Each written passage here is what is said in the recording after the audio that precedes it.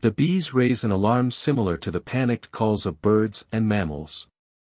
Giant hornets are a sister species to so-called murder hornets. They're one of the deadliest predators of Asian honey bees, attacking in groups until they overwhelm a colony. Scientists recently recorded and analyzed alarm sounds made by honey bees during hornet attacks. They found that when a giant hornet shows up, the bees make a lot more noise. Giant hornets are the biggest threat to Asian honey bees. Just one attack can wipe out an entire colony. This could explain why bees have evolved to have a special signal for a giant hornet attack. Thank you for watching. If you enjoyed the content, please take a moment to hit the like button and subscribe to our channel.